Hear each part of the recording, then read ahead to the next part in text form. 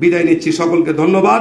আবারও সকল রাজবন্দীদের, রাশেদ ইকবাল সহ সকল রাজবন্দীদের মুক্তি দাবি করে বিদায় নিচ্ছি। রাশেদ ইকবাল এবং জাহিদুল ইসলাম ভুইয়া বাবু সহ সকল রাজবন্দীদের মুক্তি দাবি করে বিদায় নিচ্ছি। শহীদ অমর হোক, দেশনেত্রী বেগম, খালেদা জিয়া জিন্দাবাদ, আমাদের নেতা জনাব তারেক রহমান জিন্দাবাদ। আসসালামু ধন্যবাদ জনাব আকরামুল হাসান মিন্টু ভাইকে। এ পর্যায়ে বক্তব্য নিয়ে আসার জন্য বিনীতভাবে অনুরোধ করছি। বাংলাদেশ জাতীয়তাবাদী ছাত্রদল, ঢাকা বিশ্ববিদ্যালয়ের সংগ্রামী সাবেক আহ্বায়ক, ঢাকা বিশ্ববিদ্যালয়ের সবুজ চত্বর থেকে গড়ে ওঠা নেতৃত্ব বাংলাদেশ জাতীয়তাবাদী দল বিএনপির কেন্দ্রীয় নির্বাহী কমিটির আন্তর্জাতিক বিষয়ক সম্পাদক, সাবেক মানবাধিকার বিষয়ক সম্পাদক, ঢাকা দশ, নিউ মার্কেট। আমাদের জনপ্রিয় নেতা, আমাদের প্রিয় নেতা, আমাদের সাংগঠনিক অভিভাবক, দেশ নায়ক জনাব তারেক রহমানের অত্যন্ত আস্থাভাজন নেতৃত্ব, ওয়ান ইলেভেনের দুঃসময়ের পরীক্ষিত বীর সেনানী জনাব ব্যারিস্টার নাসিরুদ্দিন অসীম ভাইকে বক্তব্য রাখার জন্য বিনীতভাবে অনুরোধ করছি। বিসমিল্লাহ রহমান রহিম। রাশিক ইকবাল খান মুক্তি পরিষদ আয়োজিত আজকের অনুষ্ঠানে সম্মানিত সভাপতি, স্নেহভাজন আক্তার আমি ঢাকার বাইরে থেকে ফিরছিলাম গতকাল রাতে। আক্তার সাবেক আহ্বায়ক ঢাকা বিশ্ববিদ্যালয়ে। আমি নিজেও আহ্বায়ক ছিলাম একসময় ঢাকা বিশ্ববিদ্যালয়ে। দীর্ঘদিন রাজনীতি করেছি। আর মুক্তি কামি একজন মানুষ, গণতন্ত্রের মুক্তিও আমি চাই।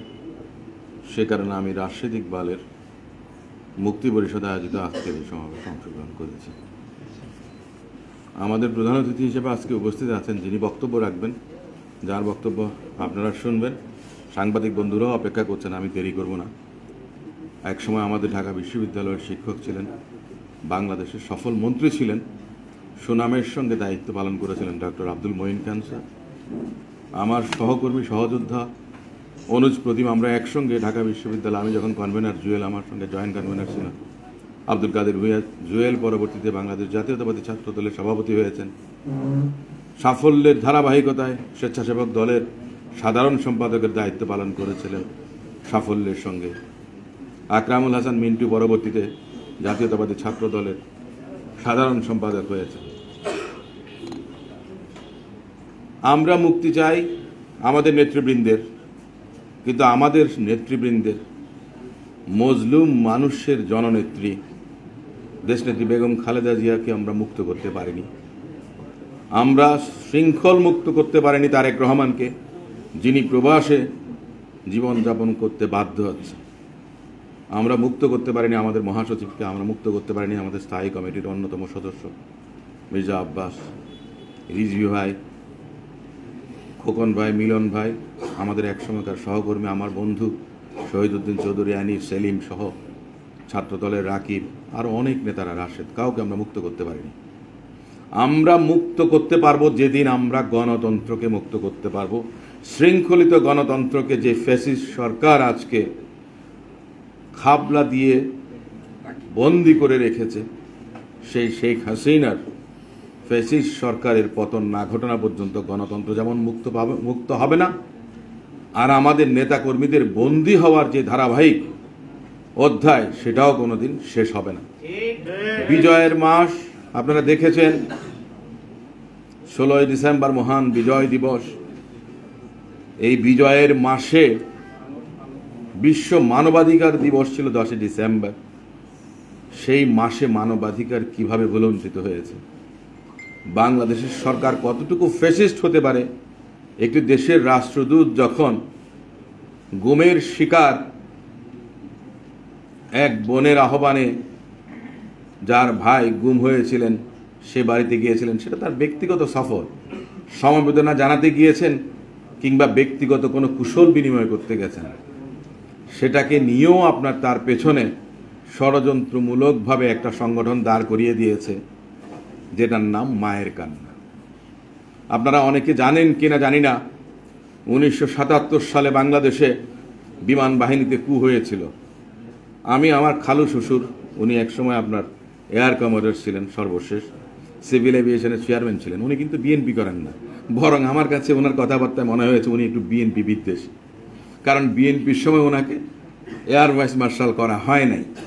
ওনার মনের মধ্যে কষ্ট আছে, উনি যোগ্য ছিলেন সবচেয়ে বেশি, উনি সিনিয়র ছিলেন, ওনাকে না করে অন্য কোনো ভদ্রলোককে করা হয়েছে। তারপরেও উনি আমাকে যে কথাটা বলেছিলেন, উনি সে সময় ছিলেন উইং কমান্ডার। আপনার রাজশাহী থেকে যে হোসেন মোহাম্মদ এরশাদ, আপনার সেভেন্টি সেভেনে ছিলেন ডেপুটি চিফ অফ আর্মি। সে সময় উনি সেই ফ্লাইটটা ফ্লাই করে আসছেন সম্ভবত সরি, রংপুর থেকে সম্ভবত। আপনার এই, যেটাকে কি বলে আপনার এয়ারফোর্সের যে ফ্লাইং বিমানগুলো। তো সে সময় কুয়ের ঘটনা ঘটেছে, উনি কিন্তু তখনও জানেন নাই। আপনার তেজগাঁ বিমানবন্দর তখন সেখান থেকে, টাওয়ার থেকে বলা হলো যে ওই প্লেনটা যেন এখানে না আসে। তো উনি আমাকে যেটা বললেন, খালু শ্বশুর, আমাকে যেটা বললেন যে আমার ফেরত যাওয়ার কোনো উপায় ছিল না, কারণ আমার তেলের ট্যাঙ্কি খালি। আমাকে ল্যান্ড করতে হবে এখানে। আমি যদি ফেরত যাই, তাহলেও আমি মরব। আমি যদি এখানে নামি, তাহলেও তারা বলতেছে যে আমার ফ্লাইটটাকে আপনার, তারা হায়দার ওই যে অ্যান্টি এয়ারক্রাফট মিসাইল দিয়ে শেষ করে দেবে, যারা হাইজ্যাক করেছিল জাপানি প্লেন হাইজ্যাক করেছিল সে সময়ে বাধ্য হয়ে উনি কিন্তু নেমেছিলেন। ওনাকে আপনার ল্যান্ড করতে হয়েছে। এরশাদ সাহেব আপনার কোনো রকম দরজা দিয়ে বেরোয় জঙ্গলের দিকে চলে গেছেন। এটা ওনার নিজের কথা। সাহস করে কিন্তু আপনার যেদিক দিয়ে বের হওয়ার কথা সেদিক দিয়ে আসেননি। কিন্তু পরবর্তীতে উনি যেটা দেখেছেন গোলাগুলি, সেটা হচ্ছে ওই সময়ে রাষ্ট্রপতি জিয়াউর রহমান সাহেবের বিরুদ্ধে বিভিন্ন ষড়যন্ত্র হয়েছিল। যশোরে বিমান বাহিনীর বিদ্রোহ হয়েছিল হাসানুল হক ইনুদের। জাসদের যে গণবাহিনী উনিশশো পঁচাত্তর সালের সাতই নভেম্বর পরাজিত হয়েছিল। যে কর্নেল তাহের জিয়াউর রহমান সাহেবকে হত্যা করার জন্য শহীদ মিনারে নিয়ে যেতে চেয়েছিল। সে সময় বিমান বাহিনীতে এবং বাংলাদেশ সেনাবাহিনী তো আপনারা জানেন, বিশৃঙ্খলা সৃষ্টি করলে কোর্ট মার্শাল হয়। তাদের নিয়মই কিন্তু সেটা। আজকে বিভিন্ন বিতর্ক করা হয়, কর্নেল তাহেরের কেন কোর্ট মার্শাল হয়েছিল? কোনো সাবেক সেনা কর্মকর্তা কিংবা কোনো সিভিলিয়ান যদি সামরিক বাহিনীতে চাকরিরত কোনো সদস্যের সঙ্গে ষড়যন্ত্রে লিপ্ত হন, তাকেও কিন্তু সামরিক আইনের, অর্থাৎ কোর্ট মার্শাল আইন অনুযায়ী কোর্ট মার্শালে তার বিচার হবে। প্রচলিত আদালতে না।